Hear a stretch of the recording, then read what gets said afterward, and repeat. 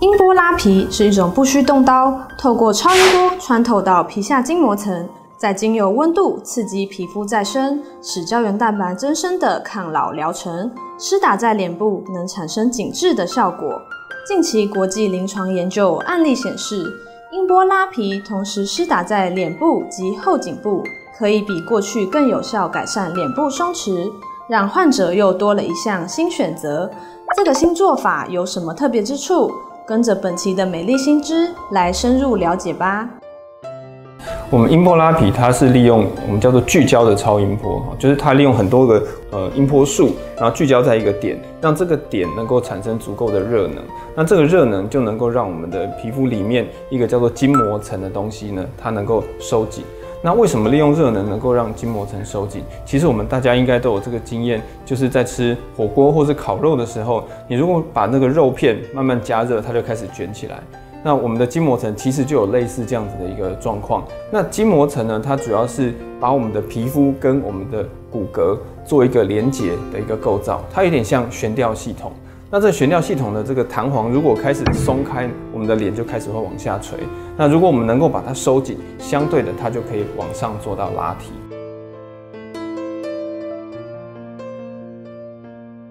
现在目前的各台的机器，他们在做设计以及在这个安全的这个评估上面，都一定有要求到它的聚焦这个能量温度并不能够过强。那当然，其实除了说温度本身之外，还有它的深浅也是非常的重要。当这个温度如果它在太浅的地方聚焦，那很容易会造成皮肤的受伤。所以在操作这个音波拉提的时候，医师的这个经验以及操作的技术就会非常的重要。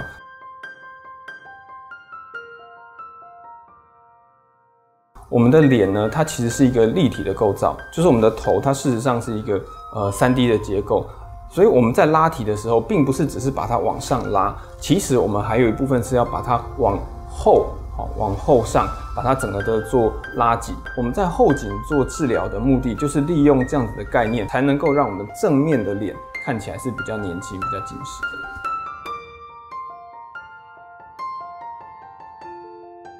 说脸部目前有严重的青春痘，或者是呢有开放性伤口，可能流血或是分泌一些组织液的时候不适合。那其次，包括怀孕，我们也比较不建议去治疗。那有一些人是可以做，但是效果不会很好。包括说皮肤真的松弛的太过严重，尤其是一些比较年长的客群。好，那再来呢，就是可能它流失的比较厉害，就是它可能已经太过消瘦。那这样子做起来虽然可以做，但是在效果上就不会非常的理想。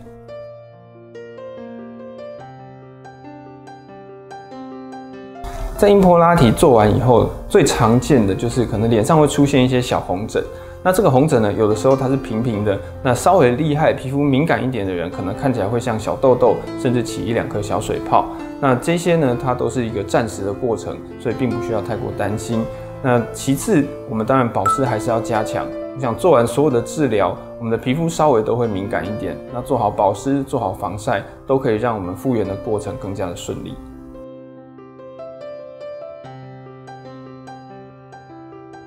像英波拉提的这个询问度一向是非常的高，但是并不是所有的人的下垂都适合做英波拉提，因为下垂这件事情它包含了我们皮肤组织的弹性变差，那骨骼以及一些脂肪的流失，还有位移，因此在做任何的治疗以前，都一定要先给医师做好评估，那这样子我们对于治疗的效果有一个比较明确的期望跟这个规划以后呢，那对于这个之之后术后。它的满意度才会比较高。